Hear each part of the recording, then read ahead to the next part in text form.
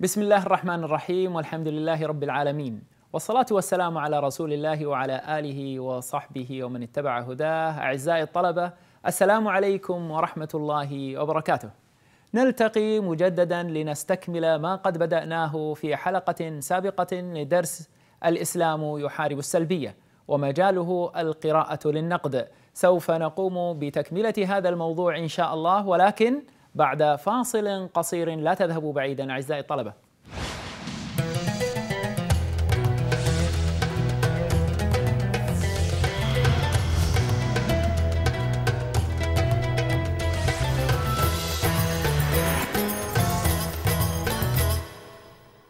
أهلا وسهلا بكم أعزائي الطلبة. لنستكمل إن شاء الله الجزء الثاني من درس الإسلام يحارب السلبية. والمجال وموضوعنا تحت مجال قراءة للنقد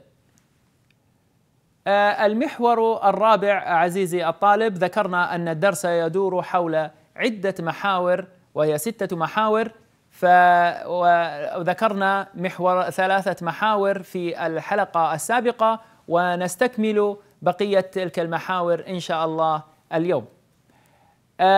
المحور الرابع الصور التي حارب الإسلام فيها السلبية العمل، القول، التفكير. نأخذ ذلك بشيء من التفصيل. قال الكاتب أحمد الشرباصي: وإذا كانت الإيجابية العملية تتمثل في فعل الطيبات والخيرات فإنها أيضا تتمثل في مقاومة الشرور والآفات ولذلك يقول الرسول صلى الله عليه وآله وسلم من رأى منكم منكرا فليغيره بيده فإن لم يستطع فبلسانه فإن لم يستطع فبقلبه وذلك أضعف الإيمان. يعتقد البعض أن الإيجابية في الإسلام قاصرة على عمل الخيرات فقط وضح ذلك مدللا على ما تقول. نلاحظ عزيزي الطالب الإجابة المثلى كما دعا الإسلام إلى الإيجابية.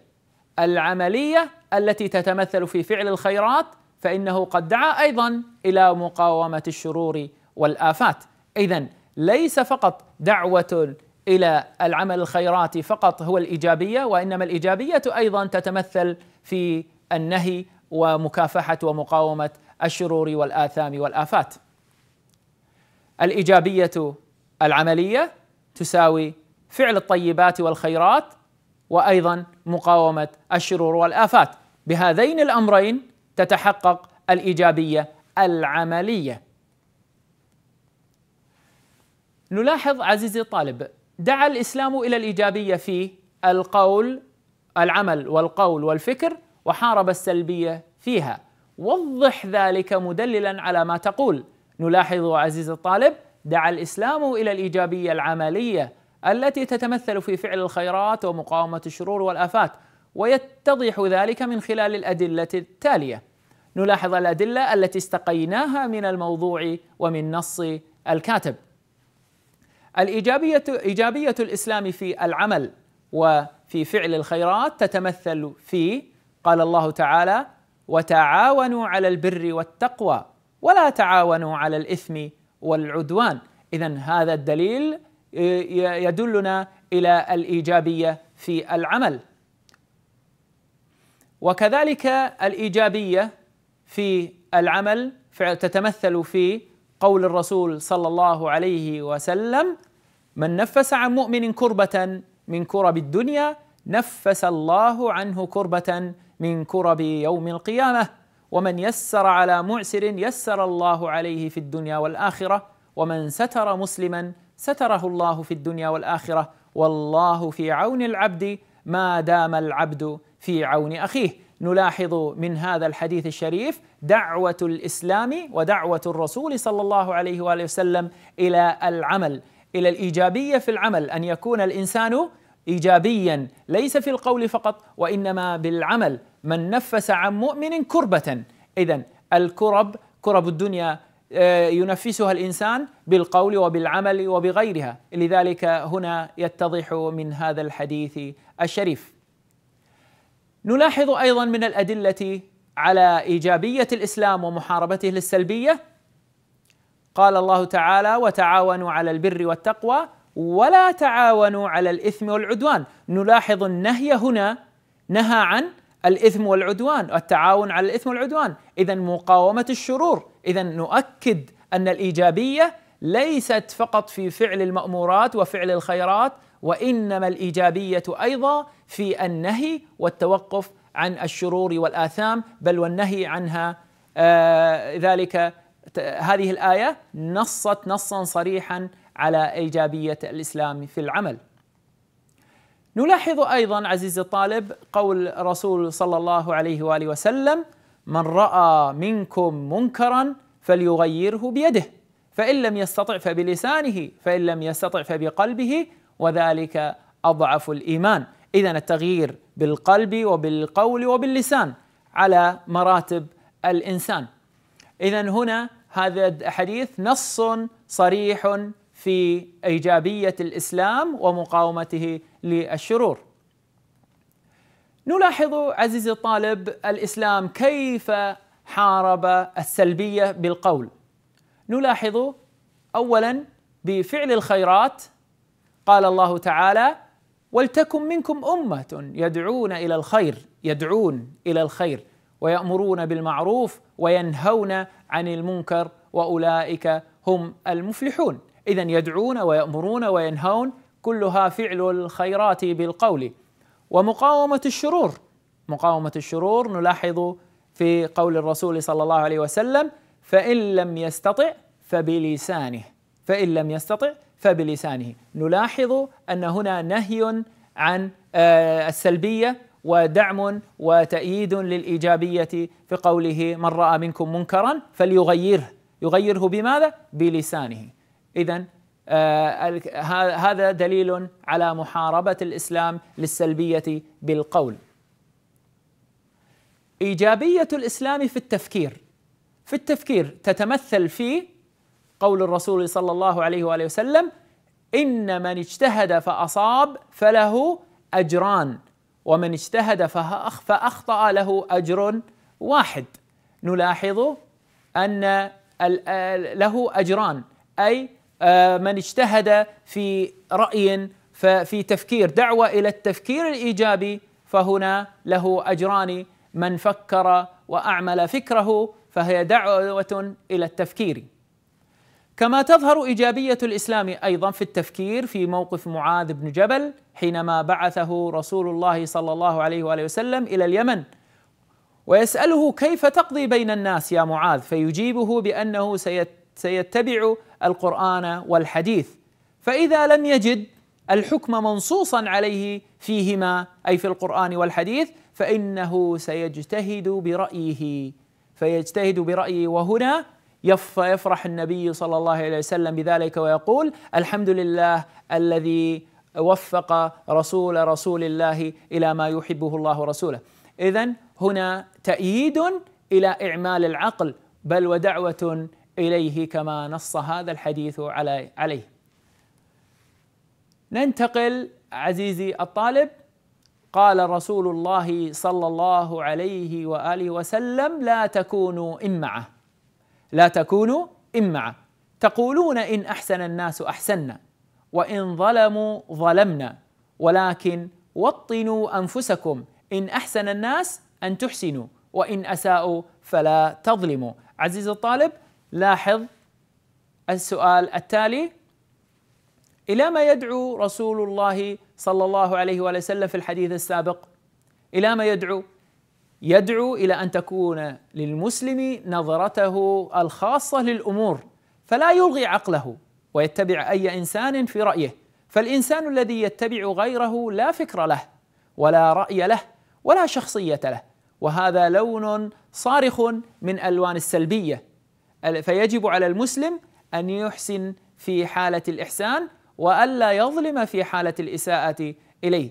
لذلك آه، هنا في هذا الحديث الشريف آه، عندما قال الرسول صلى الله عليه وسلم لا تكونوا امعه فهي تأكيد على أن يكون الإنسان ايجابيا ايجابيا لا سلبيا يتبع كل ناعق ويسمع كلام كل داع. لذلك هذا الحديث نص صريح على الإيجابية. نلاحظ عز عزيزي الطالب ما المقصود بكلمة إمعة بلا شك أنك قد وصلت إلى المعنى قريب وفهمت الجملة آه، وفهمت السياق الذي جاءت به. نهي عن إمعة إذا إمعة معنى سلبي. لذلك ما المقصود بها؟ المقصود بها من لا رأي له ولا فكر ولا استقلال لشخصيته. فهو يتبع كل ناعق ويؤمن على كلام كل ناطق. لذلك الإمعة من لا رأي له. ولكن وطنوا وطنوا. ما مرادف كلمة وطنوا؟ نريد في جملة من إنشائك. المرادف عودوا والزموا. عودوا والزموا. الصحابة رضي الصحابة رضوان الله عليهم عودوا. وألزموا أنفسهم السمع والطاعة للقرآن والحديث الشريف بل وطنوا أنفسهم على السمع والطاعة. ننتقل عزيزي الطالب إلى المحور الخامس وهو الرسول الكريم صلى الله عليه وآله وسلم هو القدوة الحسنة في محاربة السلبية. نعرف أفعاله وما قاله وهو قدوتنا في محاربة السلبية وتمثل الإيجابية الحقيقية. ضرب الرسول صلى الله عليه وآله وسلم المثل الأعلى في محاربة السلبية محاربة عملية. وضح ذلك مدللا. نلاحظ إنه صلى الله عليه وسلم لم يدخر وسعا في معاونة الناس وحل مشكلاتهم والنهوض بتبعاتهم وقد حمل نفسه ما لا تحمله نفس أخرى في هذا المجال. والدليل عندما جاءه رجل يسأله فقال له النبي صلى الله عليه وسلم ما عندي شيء ولكن ابتع علي أي اشتري على حسابي. فإذا جاءنا شيء قضيناه وكان عمر حاضرا فقال يا رسول الله ما كلفك الله ما لا تقدر عليه؟ فكره النبي ذلك. وهنا قال أحد الأنصار يا رسول الله أنفق ولا تخف من ذي العرش اقلالا. فبدأ البشر في وجه الرسول وقال بهذا أمرت بهذا أمرت. اذا نلاحظ أن الحديث الشريف أو هذا الموقف الذي دار يدل على قمة الإيجابية بل وتمثل الإيجابية بأنه تحمل تبعات الناس وحاجاتهم ومشاركتهم في أحزانهم وأفراحهم. ذلك النبي صلى الله عليه وسلم شارك هذا الرجل الفقير أثر المبادئ الإسلامية في الشباب. في المجتمع الإسلامي الأول وتمثله الأبيات في نهاية الموضوع. وهذه هي الأبيات نقرأها اطرحوا الأمر إلينا واحملوا الكل علينا. إننا قوم إذا ما صعب الأمر كفينا. وإذا ما ريم منا موطن الذل أبينا. وإذا ما هدم العز بنو العز بنينا. نلاحظ عزيزي الطالب وضح ما يقصده الشاعر بكل من. اطرحوا الأمر إلينا اطرحوا الأمر إلينا. نلاحظ اتركوه لنا نحمله عنكم. فكلمة اطرحوا جاءت بمعنى اتركوا الأمر لنا. الكله الكله هو الضعيف. كان النبي صلى الله عليه وسلم يحمل الكل أي يحمل ويساعد الضعيف.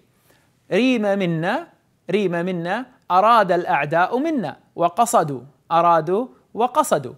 وأبينا كلمة أبينا أي رفضنا رفضنا. فبنو العز رفضنا. فنلاحظ أيضا عزيزي الطالب آه، تظهر في الأبيات همة عالية وقدرة على تحمل المسؤولية. وضح ذلك. نلحظ عزيزي الطالب هذه الشاعر هنا وشاعرنا هنا آه، أبو فراس آه، الحمداني في الأبيات السابقة يتطلع إلى القيام بدوره في تحمل المسؤولية وحماية الضعيف والدفاع عن المسلمين ورفض الذل آه، ودفع الهوان وبناء ما قد تهدم من عز المسلمين ومجدهم وتلك هي قمة الإيجابية التي يسعى الإسلام إلى غرسها في نفوس شبابه. نلاحظ عزيزي الطالب السؤال التالي. ما الفرق في المعنى بين ما تحته خط فيما يأتي؟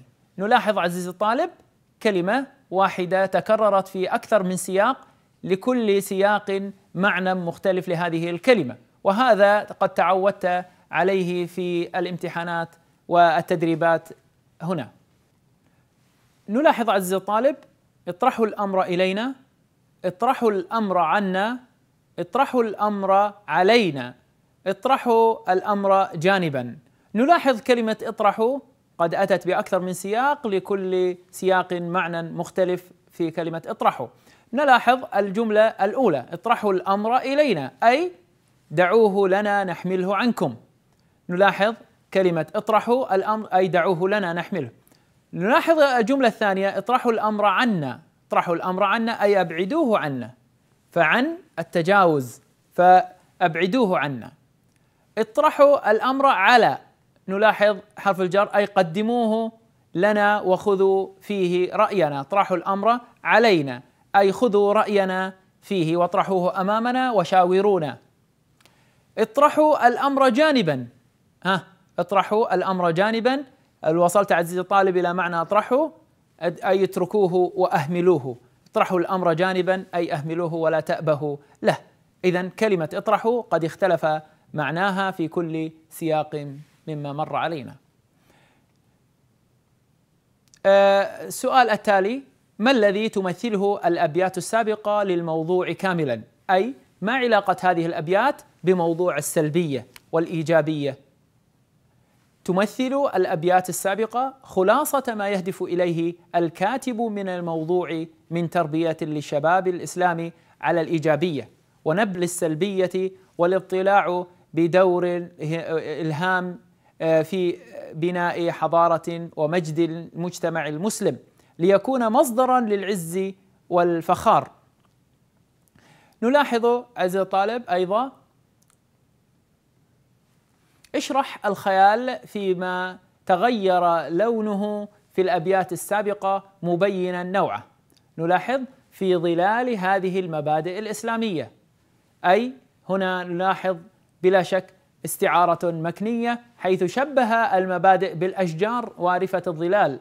فظلال المبادئ فالمبادئ وكأنها أشجار لها ظلال.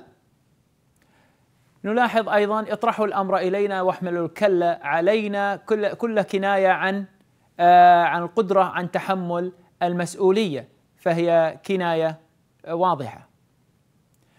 موطن الذل موطن الذل تشبيه بليغ. شبه الذل بالوطن حيث شبه الذل بالوطن أو الموطن. آه إذا ما هدم العزة استعارة مكنية شبه العزه ببنيان يهدم. وبنوا العز ونلاحظ أيضا عزيزي الطالب الذي الكلمات التي تغير لونها لجملة كلهم عزم جملة اسمية في محل رفع نعت. المحل الإعرابي للجمل كفينا أبينا بنينا واحد في الأبيات السابقة فوضحه عزيزي الطالب. صعب الأمر. إننا إذا كفينا إذا أبينا. إذا اذا هذه جواب جملة الجمل الثلاث لا محل لها من الإعراب لأنها جواب الشرط غير الجازم. ما هو الشرط؟ ما هو ما هي أداة الشرط غير الجازم؟ إذا. نعرف أن إذا أداة شرط غير جازمة لذلك جوابها يكون لا محل له من الإعراب. التعليق على الموضوع آه، طبعا نعرف إلى ما يهدف الكاتب من وراء نقده ظاهرة السلبية. لماذا نقد ظاهرة السلبية؟ وماذا يريد من وراء نقده عزيزي الطالب؟ يجب أن تعرف أنه يريد تنفير الناس من السلبية والدعوة إلى الإيجابية من خلال منهج الإسلام العملي في نقاء المجتمع السليم المتماسك الذي يقوم فيه كل فرد بتحمل مسؤولياته كاملة. ومن خلال فهمك للموضوع وضح أهم صفات الناقد. اولا الموضوعية كما ذكرنا. ثانيا التفكير المنطقي، فاذا هو لم يتكلم في الخيال ولم يتكلم عن أمور لا وجود لها، فإنما تكلم من واقع ومنطق سليم. الإحاطة بفكر ما ينقد، فهو ينقد مسألة أو ينقد مسألة تناولها من جميع جوانبها فهو محيط بها ملم بما ينقد الاستدلال وقد أكثر من الاستدلال على فكرته وعلى ما ذهب إليه فقد ذكر من الأدلة الكثير آه، ادله القرآنية والأدلة من الحديث الشريف وكذلك مواقف الصحابة. نلاحظ عزيزي الطالب هذا السؤال وضح سمات أسلوب الكاتب في الموضوع. أسلوب الكاتب نلاحظ أنه اعتمد على الحوار الهادئ. اعتمد على الحوار الهادئ. وكذلك التسلح بالدلائل والبراهين الضرورية من القرآن والأحاديث. لماذا؟ لكي يقنع القارئ أو يقنع المتابع له بادلته أو برأيه. كذلك من سمات أسلوب الكاتب التأكيد على فكرته بالإطناب أحيانا في بعض المواضع فقد أطنب في بعض المواضع كثيرا حتى يقنع القارئ بما ذهب إليه.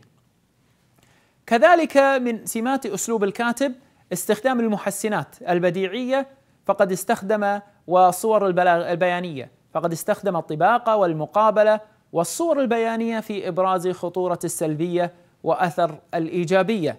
اذا من سمات أسلوبه أنه يستخدم البلاغة والخيال حتى يؤكد ويقرب فكرته. نلاحظ عزيزي الطالب هذا السؤال ورد في القول المأثور من لم يهتم بأمر المسلمين فليس منهم. فماذا تستشف في ضوء فهمك لهذه آه، من هذه الجملة أو من هذا القول ما يتناسب مع موضوعنا. نلاحظ عزيزي الطالب أن هذا القول آه، فيه درس أو درس في مقاومة السلبية حيث ينحي كل من كان سلبيا من دائرة الأمة ويطرد عنها ويطرد عنها كل من لا يهتم لأمرها. فمن اهتم بأمر أمته وبحث بحث بحث شؤونها وعرف آمالها وآلامها وسعى في جلب الخير لها وأسهم في دفع الشر عنها وبهذا يكون المسلم ايجابيا لا سلبيا إيجابية حقة إيجابية عملية لا آه يعني آه ظاهرية فقط. ننتقل عزيزي الطالب إلى قول الرسول صلى الله عليه وسلم إن الناس إذا رأوا الظالم فلم يأخذوا على يديه أوشك أن يعمهم الله بعقاب منه. نلاحظ هذا الحديث إلى ما يوجهنا النبي صلى الله عليه وسلم في الحديث الشريف السابق. يوجهنا بوضوح إلى الأخذ على يد الظالم ومنعه من الظلم وترك الشر يستفحل استفحال الداء العضال فلذلك يجب أن يقف المسلم عند هذا الأمر النبوي وهذا التهديد آه، النبوي ويجب أن يقطع هذا الشر وأن لا يستفحل هذا الداء العضال. مما حذرنا يحذرنا من التساهل مع الظالمين والتغافل عنهم لأن ذلك هلكه للمجتمع ووجوب لعقاب الله تعالى. وما علاقة هذا الحديث بمضمون موضوعنا الإسلام يحارب السلبية علاقة وطيدة وهذا الحديث يلتقي مع الموضوع في تأكيد في التأكيد على إيجابية المسلم في الأخذ على يد الظالم وينفي عنه السلبية المتمثلة في ترك الظالم يتمادى في ظلمه مما يؤدي إلى هلاك المجتمع. ولو استعرضنا عزيز الطالب أحاديث النبي صلى الله عليه وآله وسلم لوجدنا أن المقام يطول وذلك أن الأحاديث فيها يعني فيها تأكيد على محاربة السلبية وتأكيد على التزام الإيجابية الحقة الايجابيه العملية. فمعظم أحاديث النبي صلى الله عليه وسلم هي دعوة وكلها دعوة إلى الخير أو نهي عن شر. أه، نحاول أن نجمل الدرس الإسلام يحارب السلبية فنقول عزيزي الطالب أن مما سبق يتبين أن موضوعنا يتلخص في ستة محاور رئيسة وهي كالتالي. نلاحظ عزيزي الطالب وندقق المحور الأول. المعنى اللغوي لكلمتي السلبية والإيجابية وهذا ما نجده في الفقرة الأولى من الموضوع. المحور الثاني مفهوم السلبية والصفات وصفات الشخصية للإنسان السلبي وأثرها على الفرد والمجتمع وهذا ما نجده في الفقرة الثانية. المحور الثالث دعوة الإسلام أتباعه إلى الإيجابية والأدلة على ذلك من القرآن الكريم والحديث الشريف. وهذا ما نراه في الفقرتين الثالثة والرابعة وكذلك المحور الرابع الصور التي حارب الإسلام فيها السلبية العمل القول التفكير وهذا ما يبدو واضحا في الفقرات الخامسة والسادسة والسابعة. والمحور الخامس الرسول الكريم صلى الله عليه وآله وسلم هو القدوة الحسنة في محاربة السلبية الفقرة الثامنة. والمحور السادس والأخير أثر المبادئ الإسلامية في الشباب في المجتمع الإسلامي الأول وتمثله الأبيات في نهاية الموضوع. إلى هنا عزيزي الطالب نكون قد وصلنا إلى نهاية حلقتنا لهذا اليوم. وبهذه النهاية نكون قد أتممنا درس الإسلام يحارب السلبية. إلى ملتقى قريب إن شاء الله. نستودعكم الله. والسلام عليكم ورحمة الله وبركاته.